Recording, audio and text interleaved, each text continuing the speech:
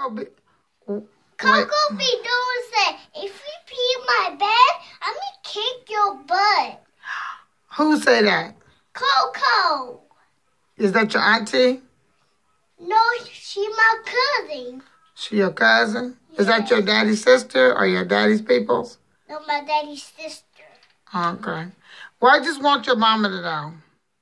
Tell your mama. Tell your mama what she say. She said, I love you, but she told me to stop.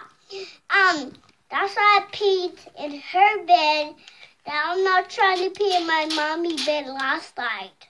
You peed in Coco's bed? No. But she said what? She said, after you, if you pee on my bed on the other side of my bed, I'm gonna kick your butt inside you right here.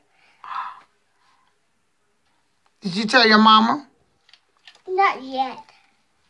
Did you tell your dad? Not yet. Why did you tell me? Okay, here I come.